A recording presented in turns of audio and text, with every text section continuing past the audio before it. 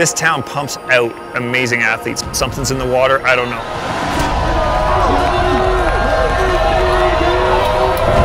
We have Trace Cooke. Nelson is his hometown. Oh, you're a mental, man! I really don't know what it is, but something's working here. Hey guys, morning to you. I'm Dano, as you know. This is Chanjima, should be one of the coaches today. We got Savannah and Eli. This little resort seems to produce really, really qualified, awesome skiers. We're trying to disguise learning into just fun, and we kind of roll it like it's one big private lesson. Beauty, you sprayed it up like it was a pound eh?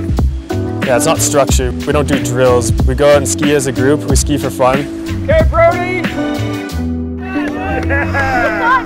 It's kind of like a game of add-on. One kid throws a seven and then everyone wants to try one. And that's how they learn is by keeping up with skiers that are better than them.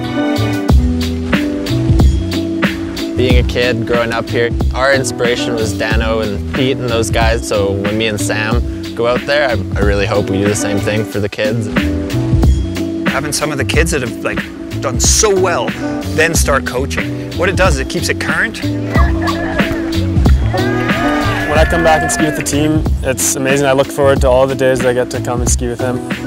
He was on the program when he, I think he was 12 or 13 years old when he started. to see how well the team like pushed him to be the skier he is today. It's just so inspiring.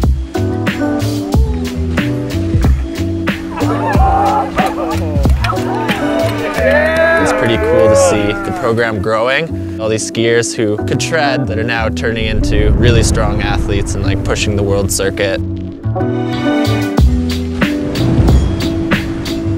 Skills I've learned within the freeride team, that's all been put towards where I'm at now in my career. I feel like it makes everyone on the team want to be something big and like go somewhere.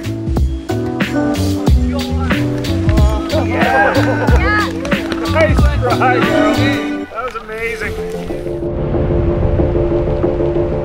So what makes us special here at Whitewater is the way we coach. You know, we care. We deeply care for every one of our athletes.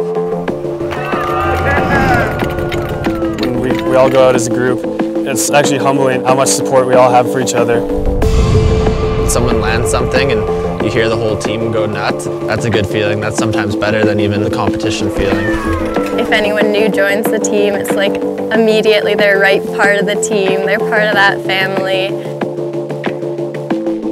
I think that's a huge thing. I think that the way the terrain breaks here at Whitewater is another huge thing that makes us special. Everything's in the trees, our cliffs are in the trees, so we end up being really controlled skiers. We learn through reaction skiing. You can't just jacket flap your way out of it. Makes us become better skiers and improve our technique for when we go to those big mountains and have that open terrain.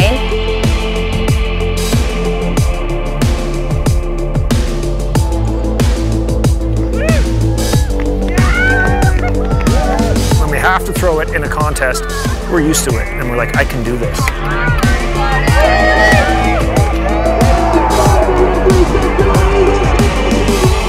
Incredible to see a little hill like Whitewater and how successful it's been over the years against some of the bigger resorts in not only Canada but in North America. It's an honor to be a leader of this program and to pass some of these skills on to others because it's not just skiing. You overcome a fear or something you wanted to do on the mountain. Okay, guys, so listen up. We're gonna try and hit this little sniper between these trees down here. If you take that confidence into a job interview, you can take it wherever you want to go in life. Yeah! My hope for the program is that we can just continue to grow and showcase the skills that they've developed here at the resort.